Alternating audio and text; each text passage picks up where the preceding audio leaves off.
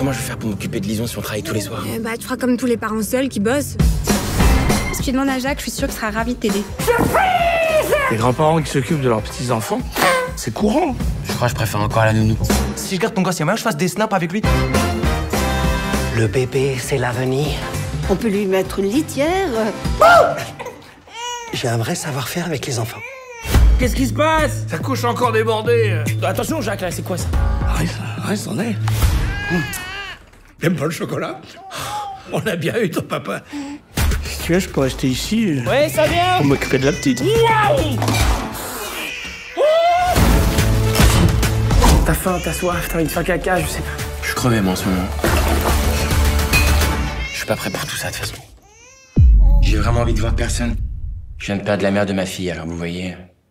Je vois très bien.